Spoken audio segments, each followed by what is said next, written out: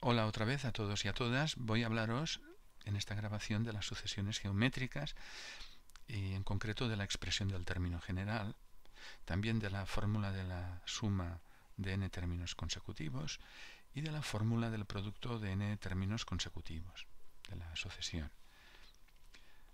Las sucesiones geométricas, voy a recordar lo que son, en el vídeo anterior estuve hablando de las aritméticas, bueno, pues son las sucesiones, vamos a abreviarlas así, que a partiendo de un primer término obtenemos los términos que le suceden los números de subíndice son, expresan el, el, orden de los términos. Este es el primero, el segundo, el tercero, esto ya lo sabéis, ¿no? el quinto, etc. Bueno, pues así podemos ir construyendo los, los términos. ¿De qué manera? Digo, pues multiplicando por una constante. A diferencia de sumar por un, por una constante, sumar una constante como en las aritméticas, en las geométricas multiplicamos por una constante, por un mismo número. Y así vamos obteniendo todos los términos de la sucesión. Ad infinitum, ¿no? En principio podría haber infinitos términos. Muy bien. Eh, un ejemplo. Eh, un ejemplo pues puede ser 1, 2, 4, 8, 16. Fijaros que lo que en que lo que estoy haciendo es en doblar el número anterior para obtener el actual, ¿no? 1 por 2, 2, 2 por 2, 4, 4 por 2, 8, etc. Es decir, las razones en este caso 2. ¿Vale? Y el primer término es en este caso 1. Bueno, ¿por qué se llama razón? a R la llamamos razón de la, de la sucesión. Bueno, pues la llamamos razón porque cuando hacemos los cocientes, el segundo entre el primero, el tercero entre el segundo, el cuarto entre el tercero, etc., estas son razones aritméticas de números.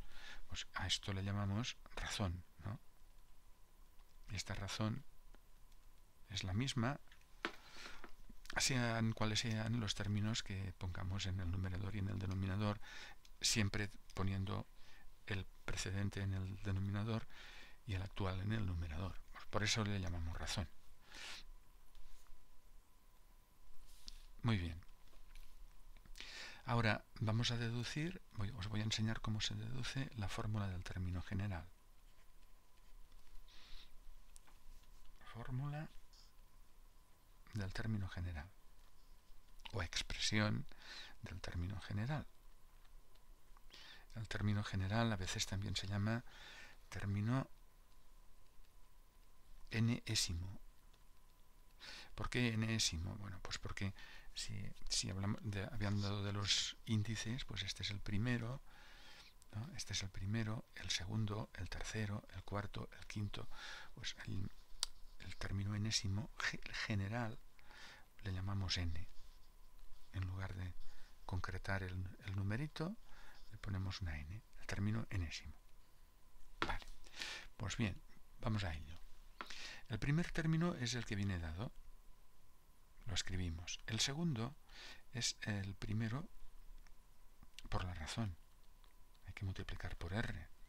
El tercero es el segundo por la razón. Pero el segundo es el primero por, habíamos quedado que es el primero por la razón. Como hay dos razones multiplicadas, es el primero por la razón al cuadrado. El cuarto es el tercero por la razón. No, no, hará falta que en adelante pongamos un puntito aquí, porque ya se sobreentiende que con let, cuando tenemos letras, si no hay ningún símbolo entre letra y letra, eso significa que está multiplicado. Pero el tercero es el primero por la razón al cuadrado. Y al multiplicar otra vez por r, pues r al cuadrado por r es r elevado a 2 más 1, ¿eh? que es r a, sub 1 por r elevado a 3. Bueno, pues ya vais viendo que entonces el quinto va a ser el, cuarto por la razón, y como el cuarto es el primero por la razón al cubo, al multiplicar otra vez por la razón, nos queda a sub 1 por r a la 4. Y así, y así, sucesivamente. Fijaros en una cosa, y es que si calculamos el, el, segundo término, la razón va elevado a 1, a 1. Si calculamos el,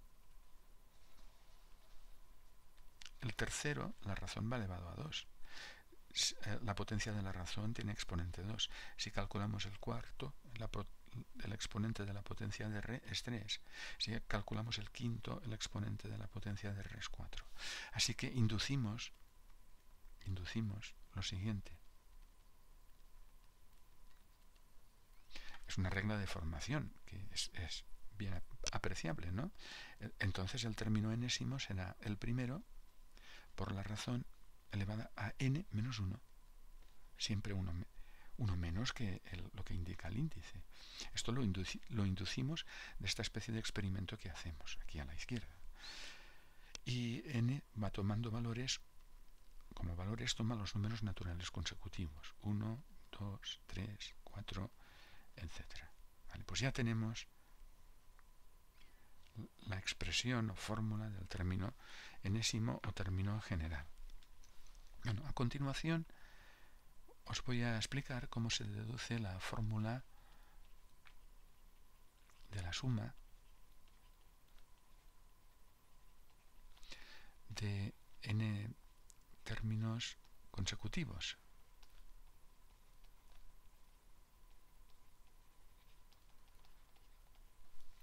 Fórmula de la suma de n términos consecutivos. Bueno, nosotros lo que queremos es sumar n términos consecutivos de la sucesión geométrica. Es una sucesión geométrica hasta el último término. Bueno, voy a poner el, penúltimo también. ¿eh? Entonces, esto ya sabéis que es el primero más el primero por r más, aquí pondríamos el primero por r al cuadrado más, más el primero por r elevado a n menos 2, que es el penúltimo, más el último sería a sub 1 por r elevado a n menos 1. Es decir, este término de ahí es este. Este es este, etc. Este es este. Vamos a hacer una cosa ahora. Es una es una treta para una treta matemática, no es ninguna trampa, pero es un artilugio para deducir la fórmula. Voy a multiplicar por R, por R los dos miembros de la expresión 1. ¿Vale? Aquí multiplico por R eh, los dos miembros de la expresión 1. De la, perdón, de la expresión, de la igualdad.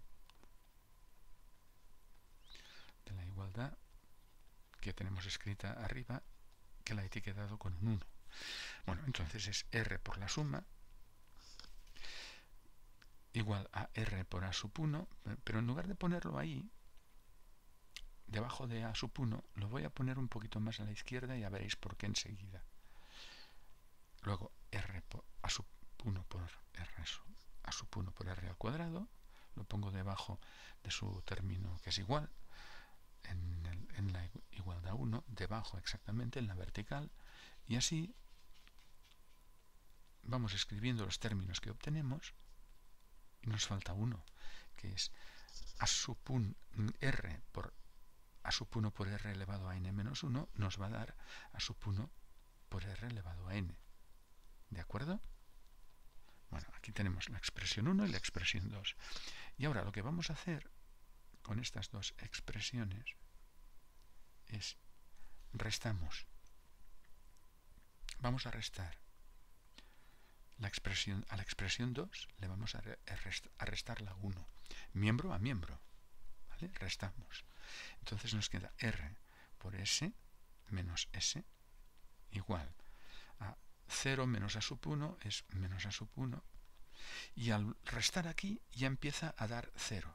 ¿eh? Esto da 0 más 0 más 0 más 0 más 0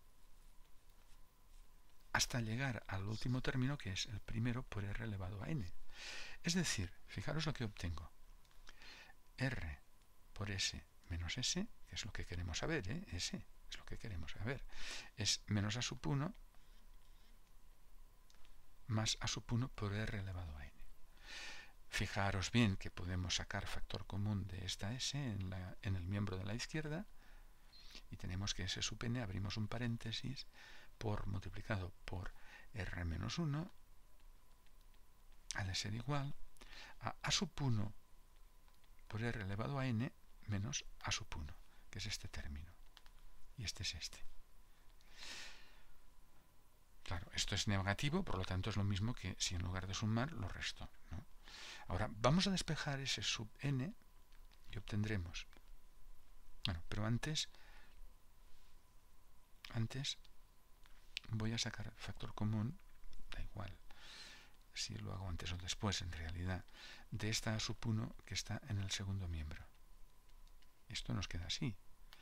Y ahora sí, ahora saco, despejo ese sub n, que es como si digamos la incógnita en esta ecuación, y r menos 1 que, que está aquí multiplicando a s, para que, para que desaparezca por decirlo de alguna manera, tenemos que dividir miembro a miembro por r-1. Al dividir por r-1 se cancelará r-1 con el denominador r-1 y nos quedará s sub n. Y en el segundo miembro, pues tendremos que dividir, lógicamente, por r-1. Pues esta es la fórmula de la suma de los n primeros términos de una sucesión geométrica.